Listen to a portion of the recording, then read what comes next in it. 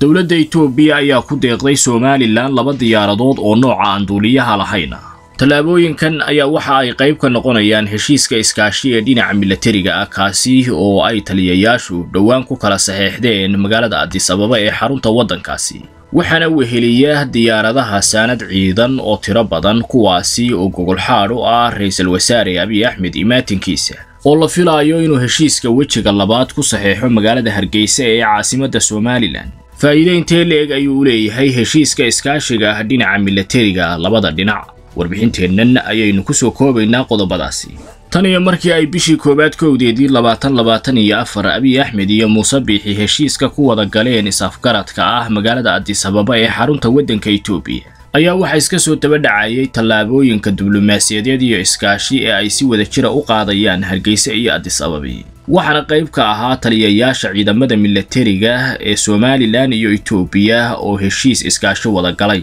Xeeldheerayaasha dhinaca siyaasadda falaqeeya ayaa waxa ay saadaalinayaan inuu ka muhiimsan yahayba heshiiska is-afgaradka saldhigga milatari ee badaha somalilan ku yaalla is-afgaradkan kale ee ciidamada milatariga itoobiya iyo kuwa somalilan ay isku kaashanayaan taasi oo ay ku xaqiijin karaan danaha labada waddan ay sida wadajirka ah u leeyihiin iyo sida oo kale xaqiijinta nabadgelyada labada dhinac. Markii ay safkarteen labada taliye heshiiskana kala saxeexdeen tallaabooyinka hore laga qaaday ayay koow ka ahayd. In ciidamada somalilan si casriya loo qalabeeyo iyo sida oo kale in tababaradii kor loo qaado ciidamada somalilan la siin jiray ee ay ku soo qaadan jireen waddanka itoobiya in la soo afjaro xiisadii ka aloosnayd muddada sanadka ah magaalada laascaanood ee xarunta gobolka sool iyadoo itoobiya ay ka qayb qaadanayso. Weliba waxaa intaasi wehelinayay in somalilan si xooggan loo qalabayo ciidamada badda ah iyo ilaalada xeebaha. Ra'iisul wasaaraha itoobiya oo qorshaynayay inuu aqoonsiga somalilan ka raadiyo waddamada igad sidaa darteedna u codsaday shir deg deg ah oo ay isugu yimaadaan kaasi oo aan caadi ahayn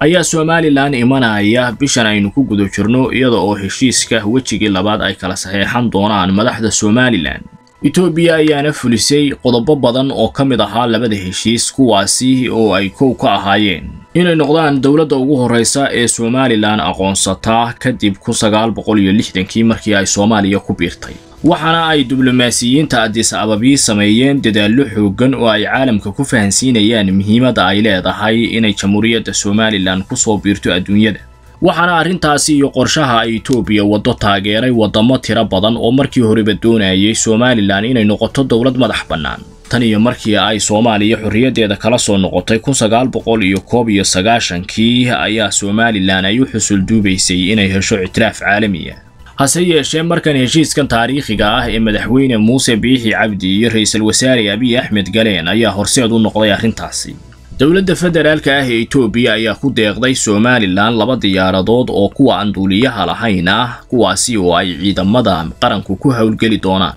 Waxaana ay gogolxaadh u yihiin iskaashiga labada milatari ee itoobiya iyo somalilan iyo imaatinka ra'iisul wasaaraha itoobiya abiy axmed oo la filaayo heshiiska barwaaqo sooranka inay ku kala saxeexdaan magaalada hargeysa ee caasimadda somalilan madaxweyne muuse biixi cabdi. Tallaabooyinka milatari iyo diblomaasiyadeed ee ay adis ababii qaadayso kuwaasi oo ay hargeysa ku taageerayso ayaana iska soo daba dhacaya waxaana la filayaa dowladda itoobiya inta aanu iman ra'iisul wasaare abiy axmed in baarlamaanka la horgeeyo heshiiskaasi oo ay cod aqlabiyada ku ansixiyaan iyo sida oo kale waddamo gaashaanbuur ah oo aqoonsiga somalilan ka qayb qaata inay caalamka ka soo samayso. Waxaana joogsaday dhammaanba dhaqdhaqaaqyadii diblomaasiyiinta soomaaliya ay heshiiska kan ugu dadaalayeen inay is-hortaagaan. Iyadoo oo is-afgaradkuna si habsami leh somalilan iyo itoobiya ugu sii socdo dhinaca milatariga inay iska kaashadaan labada waddan. Ayaa faa'iidooyin waaweyni ugu jiraan iyada oo ay ka mid tahay danahooda siyaasadeed iyo kuwa nabadgelyo ee ay geeska ka leeyihiin inay si fudud u fushan karaan